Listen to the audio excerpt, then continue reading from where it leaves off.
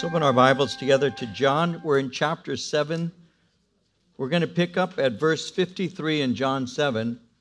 Then we're going to move into chapter 8, and we're going to uh, we're going to look at verses uh, 1 through 11 as we continue our series through the, uh, the Gospel of John. I'll begin reading at verse 53. I'll read verse 53 in chapter 7 and move into verse 1 of chapter 8, and we'll, we'll begin our study.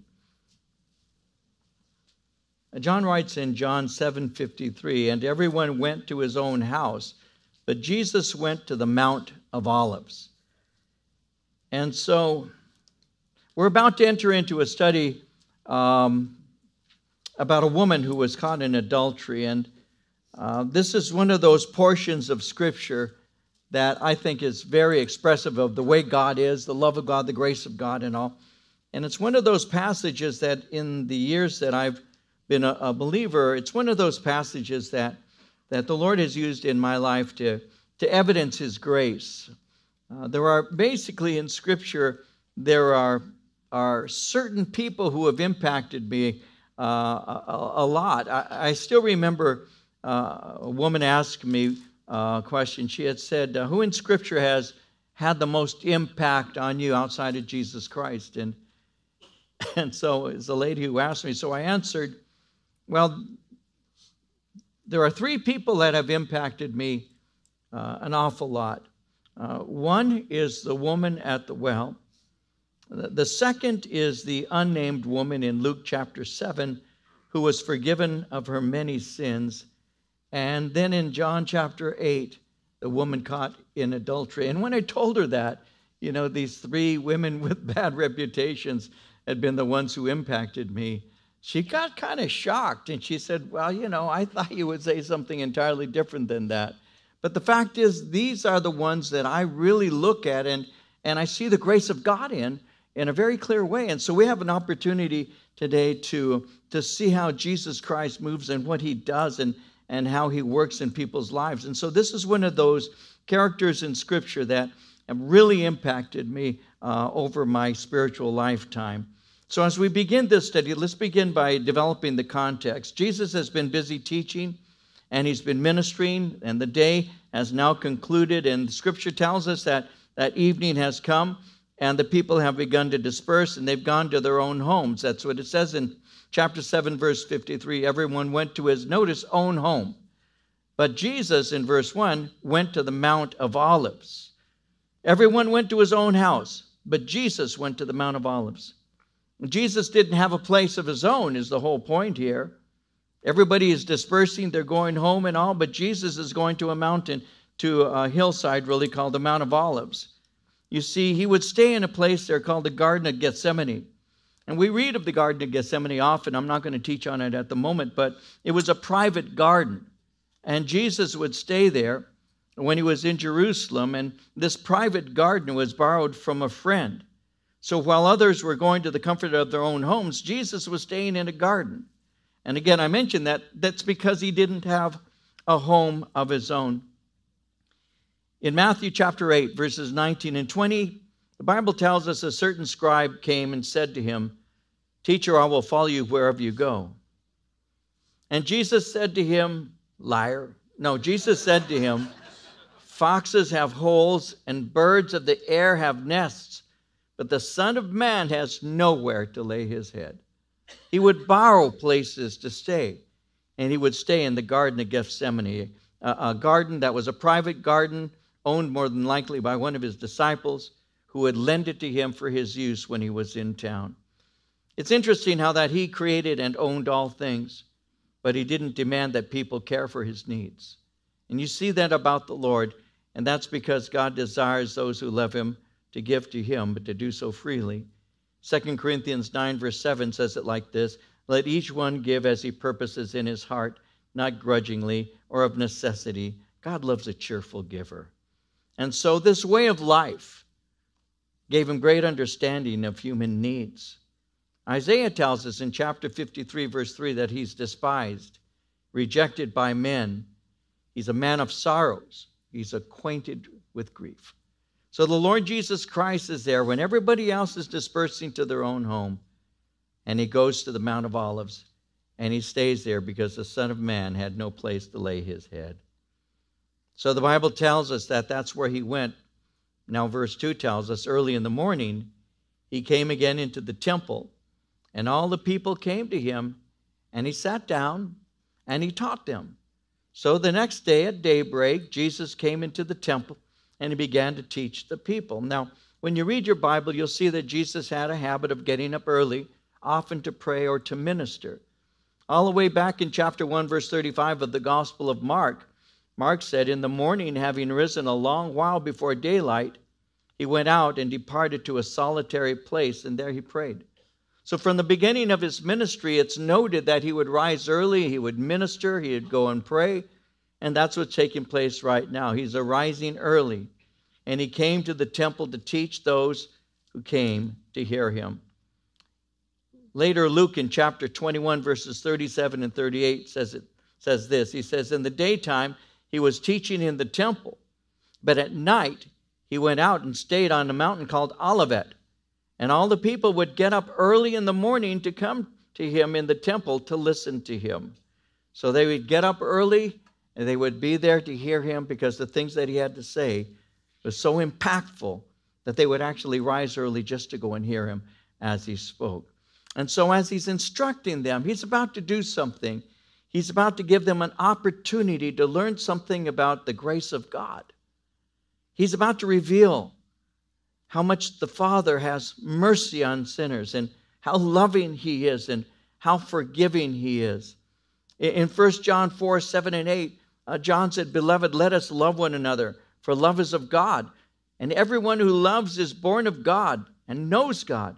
And he went on to say, He who does not love does not know God, for God is love. We're living in a time when people don't know what God is like at all. Those who've never come into contact with Him through Christ haven't got a clue about what He's like. And this is one of those passages that helps us to see what he's like, to see that the God that we worship and love is a God who's merciful, a God who's gracious, a God who cares. And this is one of those passages that I think emphasizes that such a clear way, in such a clear way, that it just blesses my heart every time I go through it. Because we have this setting here. Again, verse 2, it's early in the morning. He's in the temple. When you go into the temple of Israel, you had the southern steps. You'd walk up what are called the southern steps, and you'd go through an entrance, and that would enter into an area that is called the, uh, the court of the Gentiles. And the court of the Gentiles was the first of several courtyards that you would enter in, into the court of, uh, of the Gentiles, the court of, of the women, the court of Israel, you know, the court of the men, the court of Israel. You'd have it, it broken into different courtyards. And so in the first courtyard, and you walk up the steps. And those of you who've been to Israel, you've been on the southern steps and you know this. Those who in the future may go, it's a, a steps. It's the one place in Israel that we know beyond a shadow of a doubt Jesus actually walked on because they're still there from, from his day. And you actually walk up the same steps that your Lord and your Savior walked up into. It's quite a, quite a thrill. And we'll be seated there, and we have a Bible study I teach uh, at this particular place here, and we share about the, the baptism of the Holy Spirit there. But Jesus went into that particular area there. He would be seated there. Rabbis would have students who were surrounding them. And that's where the rabbis would teach their students. It was called the court of the Gentiles because Gentiles were allowed there.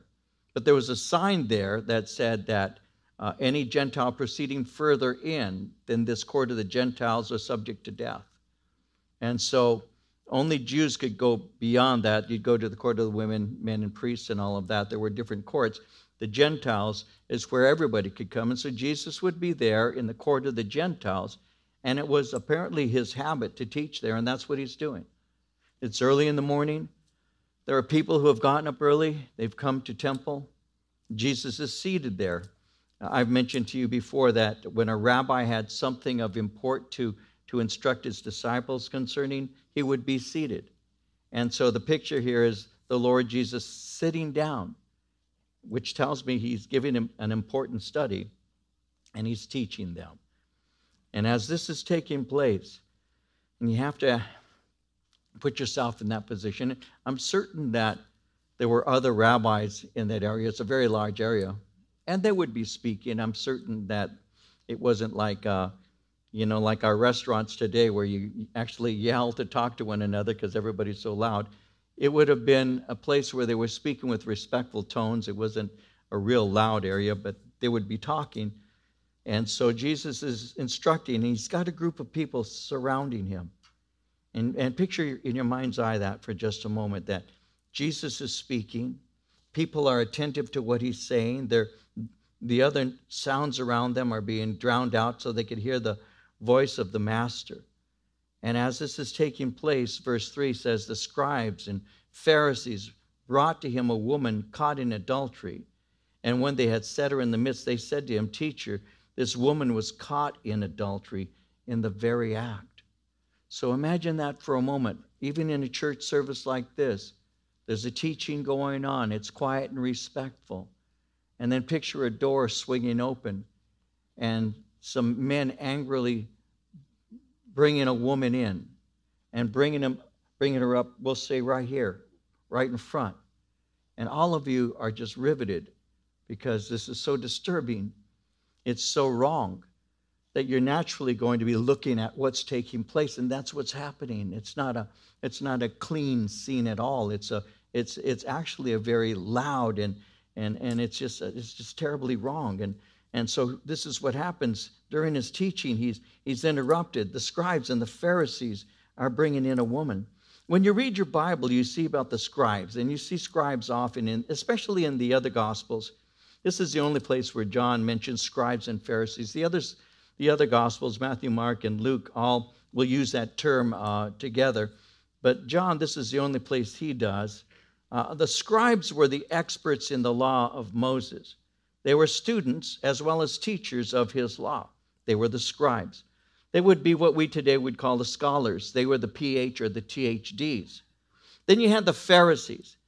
The Pharisees are religious leaders. The religious leaders at the time of Christ were broken into two basic groups.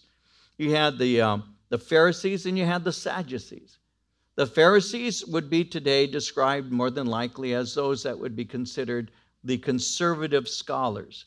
The Sadducees were from the liberal perspective, and you see them having arguments more than once in Scripture, but this happens to be scribes and Pharisees. Pharisees were so conservative that the name Pharisee really spoke of what they were. They were the separated ones.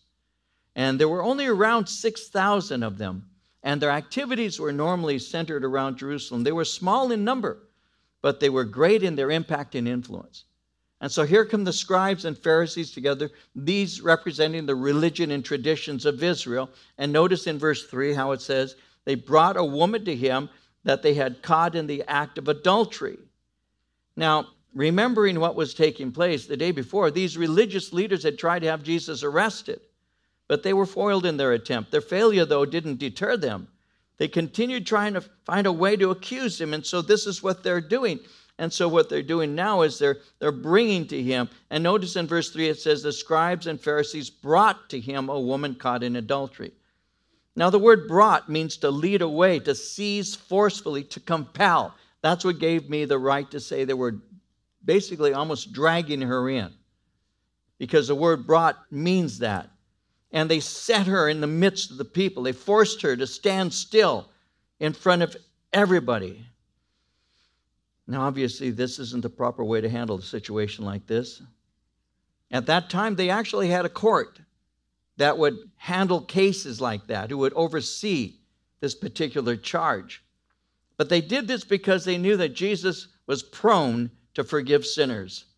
And that's what he had come to do. But they knew it. They knew that Jesus was likely to pronounce a forgiveness to this woman. And that's part of what's motivating them to bring her. They had seen it happen before. They had heard of it at least. They, they knew that he forgave a paralyzed man who had been brought to him. It's recorded in Mark chapter 2. You remember that story where four friends brought this man, ripped the, the, the roof open, and, and lowered the man in front of Christ. And he said, Son, your sins are forgiven you. They'd already heard that Jesus Christ claimed to have the power to forgive sins. They knew that he was prone to do that. He forgave a woman at Simon the Pharisee's house, as is recorded in, in Luke chapter 7. A woman who came in when Simon had, had, had seen this woman, he's, and Jesus is allowing her to, to, to touch him and all. Simon uh, the Pharisee says, If this man truly were a prophet, he'd know who and what manner of woman the sin is that is touching him. She's a sinner. And Jesus spoke concerning the forgiveness that she had received. Your sins are forgiven you. So he had a reputation for forgiving sins. You might want to remember that always. He forgives sins, and he forgives yours. Never forget that because the enemy has a tendency of telling you that your sins are too great, and there's no sin too great for Jesus to forgive. Jesus' blood covers all sin, all manner of sin, every sin. We need to remember that. He's gracious and loving. We're about to see that acted out right in front of us as he deals with this woman. We need to remember that Jesus came to forgive sinners. Now, it's not automatic, it, it requires repentance, it requires confession of sin. We need to acknowledge these things. Proverbs 28 13 says, He who covers his sins shall not prosper, but he who confesses and forsakes them shall have mercy. 1 John 1 9 says, If we confess our sins, he's faithful and just to forgive us our sins and to cleanse us from all unrighteousness. It's not an automatic. It's something that we confess, forsake, ask for God's forgiveness, and that's how it works. But that's what the Lord has come to do, is to forgive us. And Jesus was willing to forgive sins. His adversaries were aware of it. And so they're plotting against him. They're wanting to trap him. It says it in verse 6. This they said, testing him. So he knows that, that they're they're there plotting against him. Proverbs 117 says, Surely in vain the net is spread in the sight of any bird. It's very obvious what they're doing, but that's what they're doing. They're setting him up, and they're using this woman to do that. Notice what they say in verse 4. They said to him, Teacher, this woman was caught in adultery in the very act. She was caught. That word caught again means to be seized eagerly, she was caught in the very act of sexual intercourse. What's interesting is when it says in the very act, because that word act in the original language literally speaks of theft. The word act speaks of stealing something. She was caught in the act, she was stealing something. And that gives us insight into the fact that God regards adultery as taking something that does not belong to you. Isn't that interesting? Adultery is taking that which does not belong to you. A man and a woman marry, and the act of adultery is somebody taking from somebody else, stealing from somebody else that which belongs to that person. And so when it speaks concerning this, it gives you insight into God's view of and declaration of adultery. It's taking something, stealing something that doesn't belong to you. You're stealing somebody else's wife, you're stealing somebody else's husband. And the Bible makes it very clear, and I'll speak about this for just a moment to set this up a little further. The Bible's very plain when it speaks of adultery being an extremely grievous sin. Some people don't even know what adultery is anymore. We have romanticized it to the degree that it's almost something you, that you celebrate. But adultery is sexual intercourse with a married person that you're not married to. It was not regarded as romantic, never has been really. It's a terrible breach of trust. It is so serious that adultery is forbidden in the seventh commandment, Exodus 20:14. You shall not commit adultery. And in Jewish thinking, adultery is one of the three worst sins, along with murder and idolatry. And one commentator said every Jew must die before he commits idolatry, murder, or adultery. A very serious sin. And because it is a very serious sin, God warns against it repeatedly. Hebrews 13 14 says it like this Marriage is honorable among all, and the bed undefiled. But fornicators and adulterers, God will judge. So at least two witnesses had to actually see what was taking place. or this accusation would not stand. In Deuteronomy 19, verse 15, it says, A single witness shall not rise up against a man on account of any iniquity or any sin which he's committed. On the evidence of two or three witnesses, a matter shall be confirmed. And that's why there's more people involved. There had to be at least two who saw what was taking place. They caught her in the very act, and as they caught her in the very act, they ultimately brought her to the Lord Jesus Christ. And so it says again in verse 4 Teacher, this woman was caught in adultery in the very act. Then they go on in verse 5 Now Moses in the law commanded us that such should be stoned. But what do you say? That such should be stoned. That gives you an insight into how they looked at her. She's not a person, she has no history. She has no feeling. She has no shame. They have no regard for her. She's simply a test case. She's one of those that Moses spoke about, and he commanded that such should be stoned. So they begin by appealing to the Bible. Moses says that a person like her should be stoned to death. Now, notice verse 6 how it says, This they said, testing him, that they might have something of which to accuse him. Uh, testing means to simply tempt or to try, to put to the test. Jesus' religious opponents were looking for something they could use to accuse him. They already consider him a blasphemer, they already consider him a Sabbath breaker, and they're seeking to kill him. And Jesus and others knew this to be true. And they even clearly stated it. We saw it in chapter 7. We saw in verse 9, 19, where he asked the question, Why do you seek to kill me? We saw it in John 7 25 when, when the people said, Is this not he whom they seek to kill? His opponents were looking for something they could use to accuse him. They thought he was a blasphemer, a Sabbath breaker. They were seeking to kill him, and they're using this as a test case. They want to put him to death, and they're setting traps for him. Now, when, when it says here again in verse 6, uh, this they said, testing him, uh, this is something that you find more than once in Scripture. They, they often ask questions of him, seeking to find an accusation in his answer. For example, Matthew 19, verse 3, it says, The Pharisees also came to him, testing him, saying to him, Is it lawful for a man to divorce his wife for just any reason?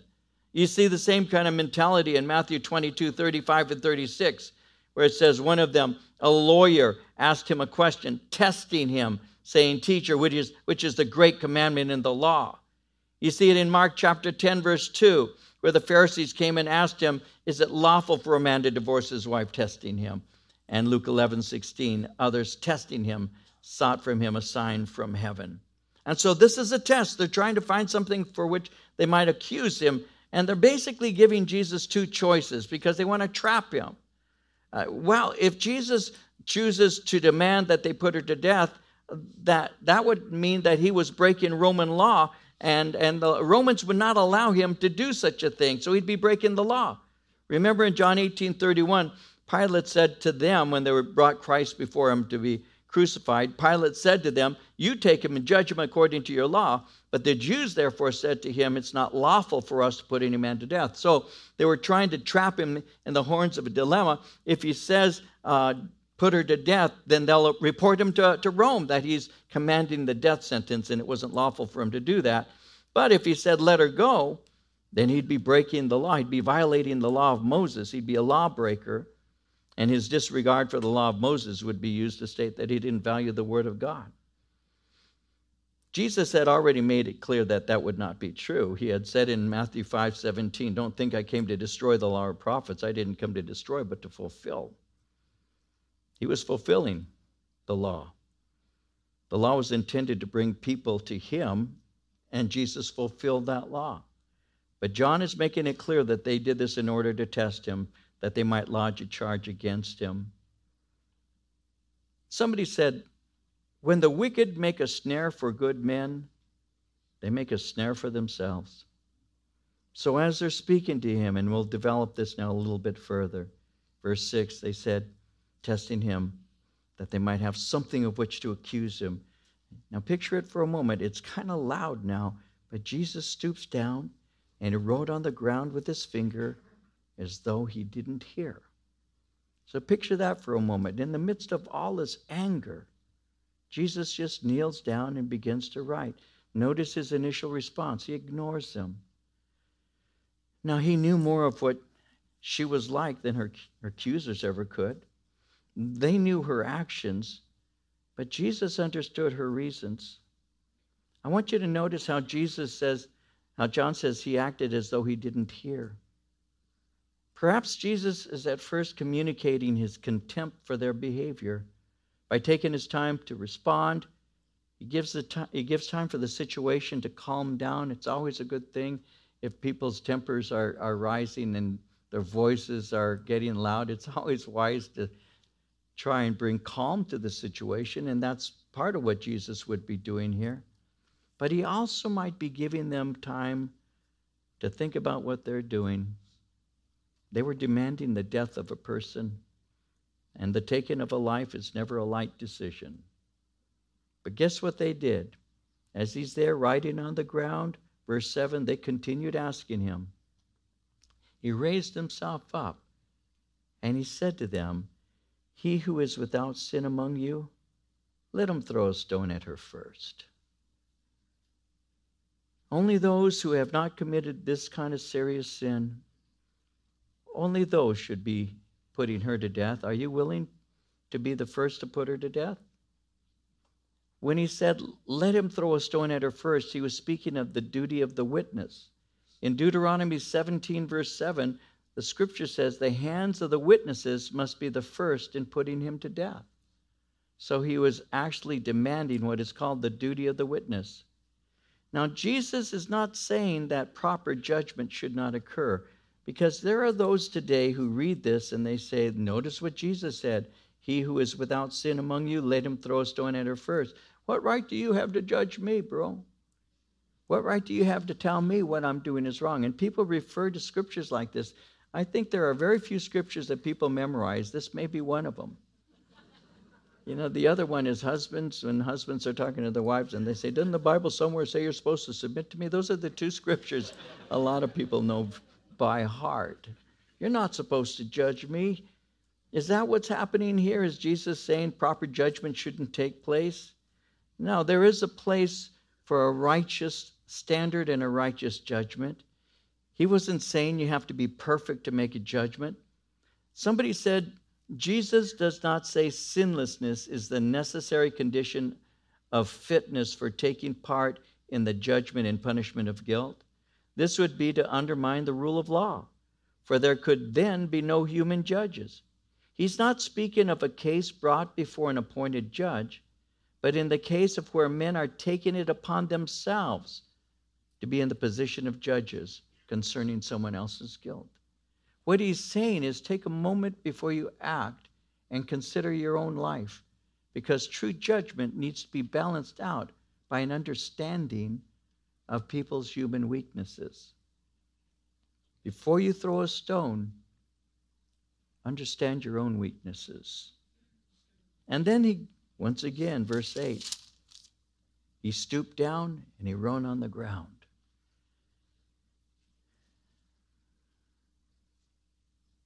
It may be that he's giving them time to leave. By doing this the second time, he repeats his determination to avoid being their judge. In Luke 12, 13, and 14, there's an interesting story where someone from a crowd said to him, Teacher, tell my brother to divide the inheritance with me. But Jesus, he said to him, Man, who made me a judge or an arbitrator over you? I didn't come here to act as that judge. And so Jesus is avoiding that position. But there's something that people, people will ask themselves about this particular thing, and we'll take a moment to do that ourselves. What do you think he was writing? Now, I was taught a long time ago if the scripture is silent, you ought to shut up too. and uh, and I, am not going to. I'm going to share a couple of things with you. But I'm not going to say that this for sure is what he was saying. As I was preparing this message, I was going through um, commentators that I use, and and more than one said that it was commonly believed that in the earlier times that what he was doing, it was commonly believed that what he was doing was writing down the sins of those present. Just writing down sins. And you, you could almost see that. I don't know that it's true or not, but imagine that. You're standing there and, and Jesus looks at you and he writes down whatever it is that you're guilty of. Then you go and you kind of like look the other way, and then some he looks over here and he says, That would be kind of awkward. But I don't, I don't know. I mean, that was commonly believed in the early church that that's what he was doing, writing the sins of those. I'm not sure that he did that. I don't see that it's being consistent in how he does things. But I, I do think this is a possibility, and I lean in this direction. And again, don't it's not it's not solidly scriptural in terms of yes, it says it. It doesn't. But when you think about him writing and this and that, we need to remember this is the only time in Scripture that Jesus is ever spoken of as writing anything. And so, what you do is you begin to ask yourself, well, is there any other place where the finger of God is spoken of as writing? And the answer is yes, of course, when the commandments were given. When the commandments, the Ten Commandments, the original commands were given, it was written with the finger of God. And so you see evidence of the Lord writing in the Old Testament, and he wrote the law. You see another incident in the book of Daniel in chapter 5 where the words were written on a wall, many, many tekalupartzin. Yeah, you've been judged and, and found wanting. That's the only time you see the finger of God writing. So when you're looking at this, you, you ask yourself, what could Jesus possibly possibly have been writing? Seeing it's the only time in Scripture that ever speaks of him doing something. He, he, he kneels down and he writes. What could he have been writing? And I think it's worthy our consideration. Lord, what might it have been that you were writing? In the Old Testament, you wrote out the law, and you wrote of judgment. I wonder, I wonder, I only wonder if it's possible that he wrote Leviticus 20, verse 10, where it says, The man who commits adultery with another man's wife he who commits adultery with his neighbor's wife, the adulterer and the adulteress shall surely be put to death. You want to go by the law? Where's the man? Where's the man? Now, I'm speaking to a lot of men and women in here right now. Men, ignore this for a moment. I'll talk to the ladies. No, actually, I'm playing with you. The fact is, even to this day, women are judged harsher than men. Even to this day. Even to this day, in days where, where sexual freedom is so championed and so regarded, women are still regarded differently than men. When a man goes out and sows his wild oats, that's just what boys do, because boys will be boys, right? And when a woman goes out and does something wrong, she's looked at in a different way. Always has been. I don't know that it's not possible that Jesus would allude to the law because the law was to judge fairly. And the man was just as guilty as the woman. Now, sometimes when you have boys, you're raising boys, you think that they're going to go out and boys will be boys and this and that. You don't raise your boys to be immoral any more than you raise your children, your girls, to be immoral. And you don't make excuses for the boys to go out and be immoral because it's wrong, because purity is something that gives honor to God and has great reward within it. So you don't say, well, guys are going to be guys, but you girls better not. You don't do that. It's all equal. Before the sight of the Lord, sin, this kind of sin, the man was also to be judged, and the man is not there. The man wasn't part of this. They should have brought the man along with the woman. They should have dragged him in along with her and said, both of these people are guilty of sin. Both of them are to be, because they're to be stoned, because, because Moses said such, which would include the guy, such should be stoned. And the question has to be asked where was the man? It's a setup. It's, a, it's an embarrassment and a humiliation upon that woman. And this must have outraged the Lord as it was taking place. It must have outraged him as they were doing this. The question has to be asked why wasn't he brought forth? Why wasn't he also to pay this penalty? Because justice has to be applied equally to all involved. In Romans 2:11 it says there's no partiality with God. And so this is what's taking place. He's stooping down, he's right in on the ground. I can't help but wonder did you write the law pertaining to adultery? They were charging her of it. This woman was guilty, caught in the very act. There were witnesses to it. Where's the man? Why isn't he being penalized? Why isn't he being dealt with? That's a good question. And so, as this is taking place, Jesus is, I believe, giving them time to consider what they're doing. And again, as he's stooping down, he's writing on the ground.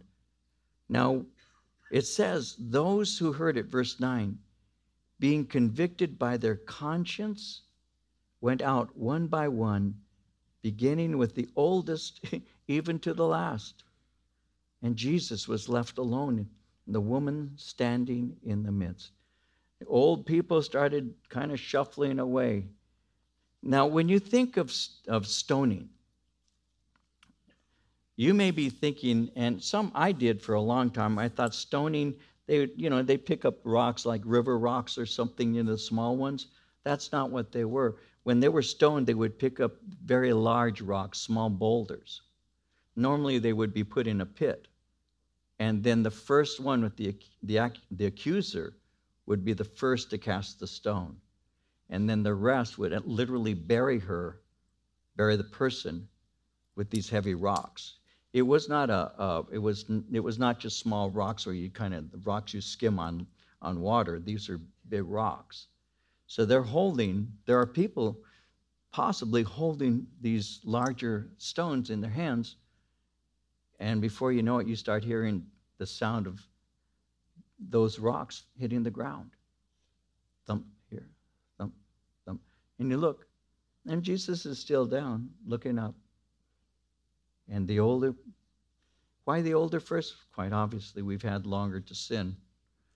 It's been said there's no sinner like an old sinner, and there's some truth to that.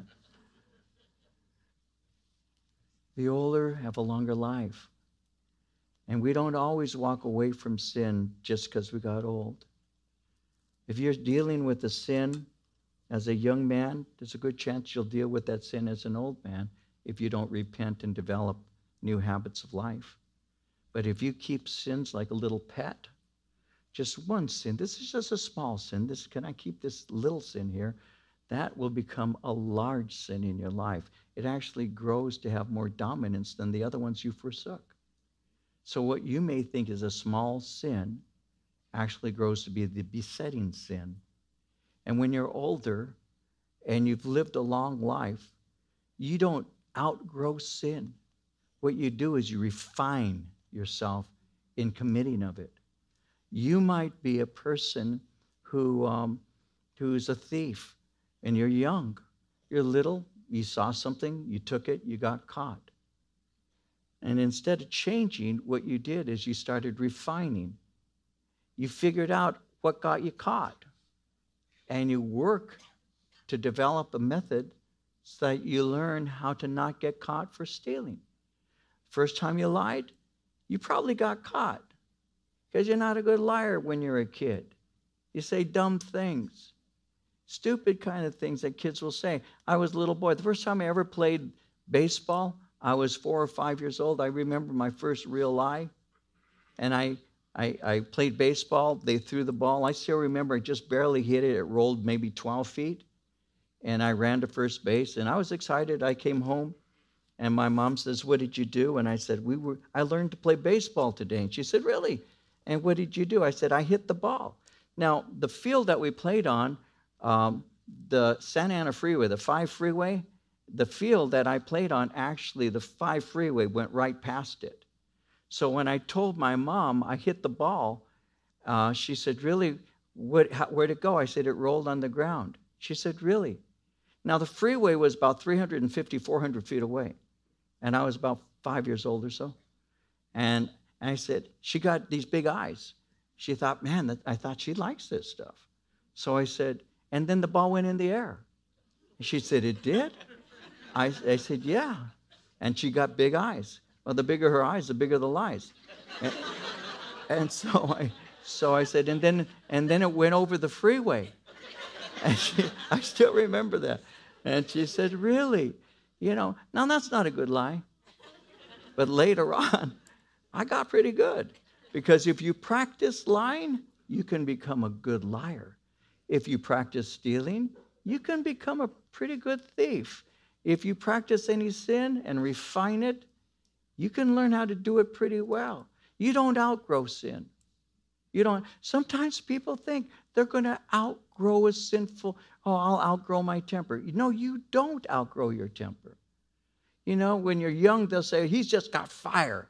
When you're old and you still have a temper, you're just a mean old man. You you you you don't outgrow it. You forsake it. You repent from it. You turn away from it. You ask God to forgive you. You ask God to change you, and He does. He can take the liar and make them honest. He can take the thief and make them honest. He can because you have asked God to. You've said, God, forgive me a sinner. And He forgives you and He transforms you and He gives you power to overcome. And then you have this amazing testimony because you'll encounter people who knew you when you were a thief and a liar and whatever else it was that you were guilty of. And they see you and they say, wait, wait a minute, I went to high school with you or I, I hung around with you just out of school when we were in college and you used to be the party guy. What happened to you? Because your life has changed so much. It comes through repentance, fellas and ladies.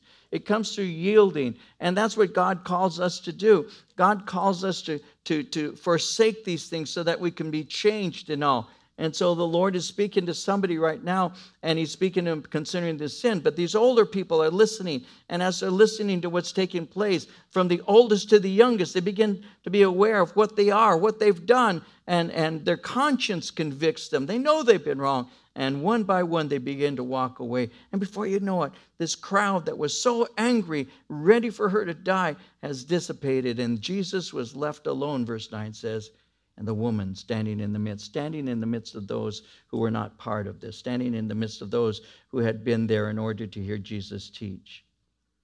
And what's Jesus doing? Well, Jesus is working within the law because without accusers, she cannot be condemned. They had their own wicked plans, but Jesus was able to deal with them. In Job chapter 5, verse 12, it says he frustrates the devices of the crafty so that their hands cannot carry out their plans. And so, verse 9 says, Jesus was left alone and the woman standing in the midst. And so, Jesus, verse 10, raised himself up and he saw no one but the woman. And he said to her, Woman, where are those accusers of yours? Has no one condemned you? Those who demanded his judgment are gone. They leave her alone with him. And he asks, Where are your accusers? Where's those who are condemning you? And in this question, there's a reminder, and I want to develop this for just a moment. He's saying they had accusations against you. What were they? You you need to remember that he's not whitewashing her sin, he's not ignoring it. Sometimes you might read this passage and think that he is, he's just whitewashing it. He's not. When he says, Where are those accusers of yours? Has no one, has no one condemned you? He's reminding her that she sinned. Sometimes people say, Well, Jesus doesn't, Jesus never pointed out sin. He's doing that right now by reminding her of the accusers and reminding her of condemnation, he's also reminding her of her sin. He's doing it in a gentle way. You don't always have to point somebody's sin out, by the way. You don't have to. Not always. Sometimes you simply have to ask them, where did it get you? What you did, you know it was wrong. Where did it get you? Was it worth it? You don't have to go into every single thing they did. You just ask them about it, reminding them they did it, because you're pointing them to something greater than their sin. You're pointing them to first remember, but also forsake, so that they can receive forgiveness. And that's what Jesus is doing. Where are your accusers? That reminds her that there was an accusation. What was the accusation? She was caught in the very act of sexual sin. So he's reminding her in a discreet way, but he's reminding her nonetheless you did wrong. I'm reminding you of what you did. But where are your accusers? Where are the ones that wanted to put you to death? So he's not ignoring it. He's actually bringing it to the center of the conversation. So he says, um, Where are your accusers? And she says in verse 11, when he says, Has no one condemned you? She says, No one, Lord. And Jesus said to her, Neither do I condemn you. Go and sin no more. Neither do I condemn you. But notice, go and sin no more. Notice that he doesn't express forgiveness or offer her peace, offer her peace with God. By saying sin no more, he's saying be no longer a sinner. That is a direct comment on her sinfulness, and it's pointing to her need to turn away from it. Jesus did not accept her sin. He told her to repent. I'm not accepting your sin. I'm giving you a chance to turn from it. Remember in Luke 19, verse 10, Jesus said, The Son of Man has come to seek and save that which was lost. So he's given her an opportunity. He's not saying go and continue in sin. He's basically teaching her not to sin anymore. Go, he said, and sin no more. Turn away from your sin and live a life that is free from its bondage. What does this reveal to us about God? This reveals to us that God loves and God forgives.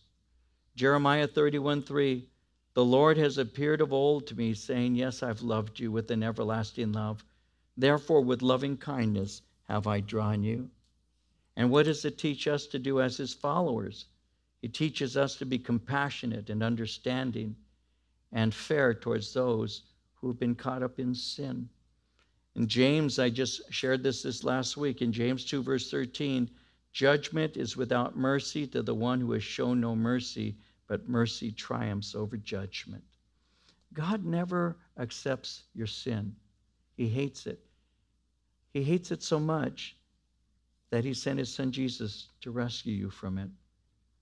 God loves us so much that he took upon himself, his son took upon himself our sin. He became sin for us that we might become the righteousness of God in him.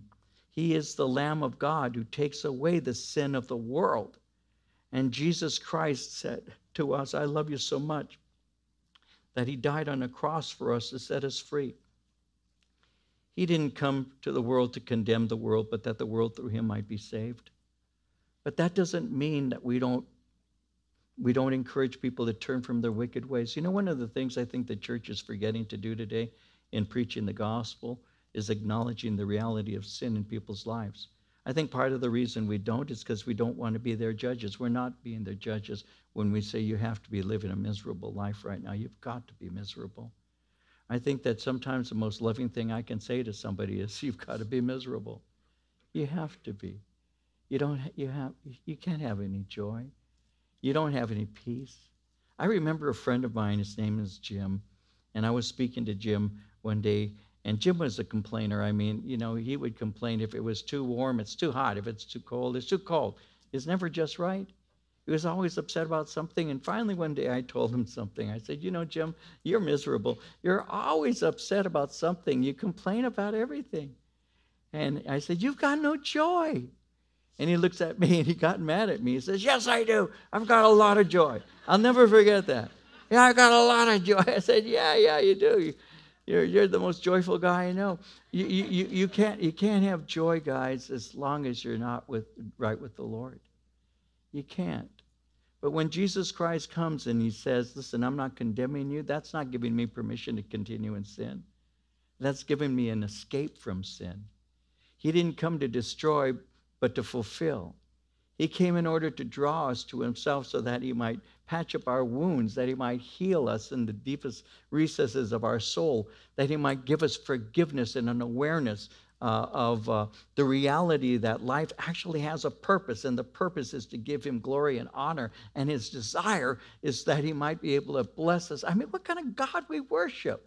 I mean, picture that for a minute. You've got the religious leaders there saying such should be stoned. This, this, we don't even want to call her by name. We don't even want to refer to her as a woman. This is just a such. This is a test. This is somebody that, that Moses said we could kill, and we could do so because she's unrighteous. What do you say? And the attitude, think of it for a moment. It, that attitude was coming from religious people who should have known better.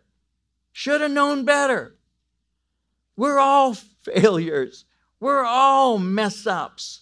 We're all sinners. All of you are. I'm not, but you are.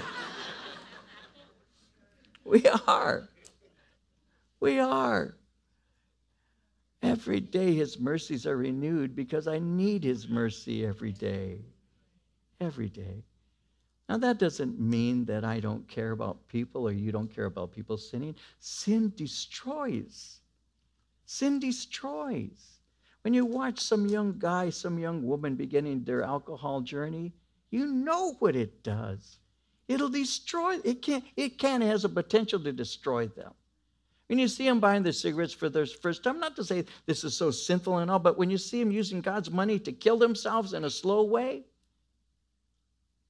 and you say, that's not healthy for you. It's not good. Oh, shut up, man. You're just ruining. I can do it. But you know what? Someone's got to tell them the truth. Someone does. A long time ago, I, I made a decision, and it's not, it wasn't an easy one. I was a hippie. Hippies were real live and let live people. I mean, you want to do that? You want to do that. I, I don't care. And I've told you this before, and I'll close by reminding you. I was a hippie. I had nothing, no spine, nothing to stand up for. And then I got saved. And I started reading the Bible. And I started realizing there is truth, and truth sets you free, and there is sin, and it brings you into bondage. And so I started praying, and I prayed every, and I still do. And I started praying this when I was a very young believer. I started praying, God, give me a spine. Give me strength to stand up for what is true. Help me to know what true is and help me to stand up for it. Help me to know what the truth is and help me to stand up for it. Because there's got to be something called truth. And Jesus said, You shall know the truth. It will make you free. And I said, I want that freedom.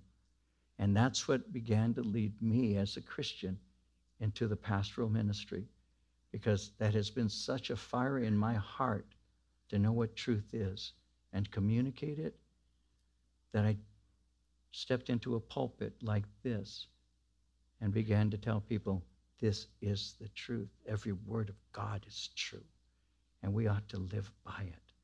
And I was set free by his truth, and we all can be too. It's not just hearing it. We'll see this on Sunday through James. It's hearing it and doing it. And that demonstrates that we believe it.